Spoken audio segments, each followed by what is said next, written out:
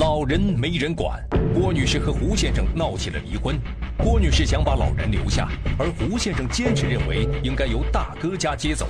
双方从争吵到冷战，越闹越僵。一个星期过后，两人闹离婚的消息传到了大哥家。三月九号，我大哥给我打电话，说我大嫂子同意了接老人走。我说得了，那就接吧。十号就把老爷子接走了。令人没有想到的是。老人被大哥家接走之后，很快就传来了一个坏消息。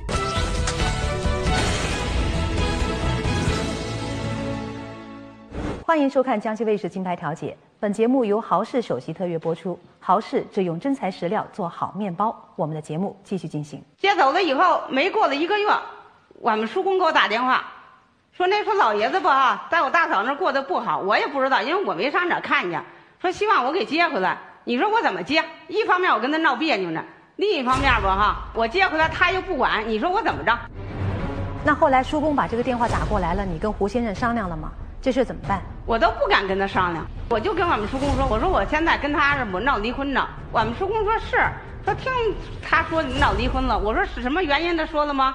我们叔公说他没说。我问一下胡先生哈，你知道这件事吗？我知道。嗯，那你是什么态度？我也没办法，很纠结呗。我跟我叔叔说：“你再让我接过来，你这不得让火上浇油吗？是吧？”你是担心郭女士不同意吗？不是，在她那三个侄女刚一个月就出现情况，我接她一闹病，我接也缓回不了原来那样的状态了，也不可能没毛病了。她一病已经出来了。郭女士其实在于老爷子在你们家这件事，她是不反对的。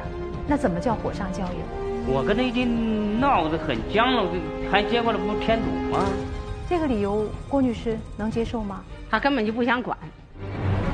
他要是直接跟我商量，而不是往叔公打电话，他要直接跟我这商量，说得了，老爷子已经这情况，咱们再接过来，说先养着老爷子，以后咱们俩事再说，我肯定我要同意。也就是最后确实是没有把老人接回来。没有。没接。胡先生知道老人家在老大家的情况吗？知道，一切都知道。到我哥呢刚一个月，我去看了三次了，知道。老人提出过到你们家来的意愿吗？提出过两次。那你为什么不把老人接过来？我没有答应，我也没吱声。你这个不答应，到底是说怕郭女士不高兴，还是说你自己真的不想再去照顾老人了？不想。因为这责任在他那，刚一个月出现毛病，这是他的责任，我怎么接？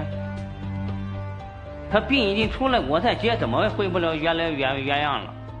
但是老人至少有这个意愿，想回到你们家来。那个意愿没办法达到，真是没办法。最主要的原因是，该谁负责任就谁负责任。你别到时候我累坏了，啊，他解脱了，压力都在我这，凭什么呀？郭女士。你怎么看待胡先生这个想法和态度？过于不保护他自己了，他的自己的自身的利益比谁的利益都那什么都重要。你说老爷子到那种程度，他就不想把接回来，那要不那我将来你你能管吗？